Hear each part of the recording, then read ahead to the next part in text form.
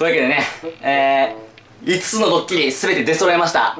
それではね順番に見ていきましょう。まずはね、えー、ドアを開けた瞬間にここに小麦粉が仕掛けてあるんですけどもドアを開けた瞬間に鼻の頭の上にこれがぶっかかると。で次にドアを開けて入ってきた瞬間にこれが待ち受けてこれでボーンと。で視力を失った鼻にさらに襲いかかるのがこちらのこのゴムね。このゴムが襲いかかってきてこれにもう勢いよくつまずくと。でつまずいた鼻緒はそのここのおそらくですけども着地ポイントが正しければこのね生クリームの上にダイブしてくれると思うんで。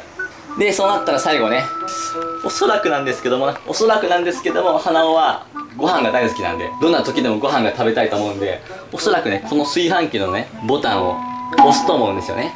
でそれを押したらこの上にこれ、ね、上にかかってるバケツがね鼻緒の頭上に降ってくるわけなんですよね。というわけで以上5つのドッキリなんですけどもまあ準備ができたのでそろそろ僕は未来に帰ります。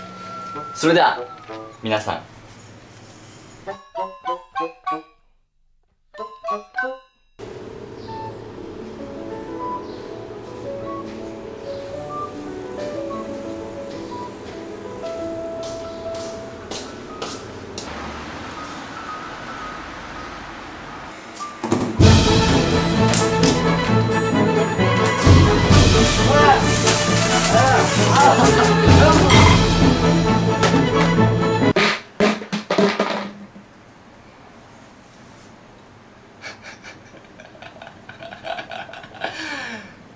わざとらしい。わ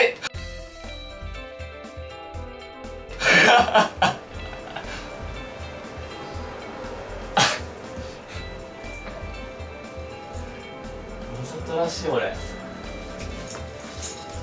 ばいやばい。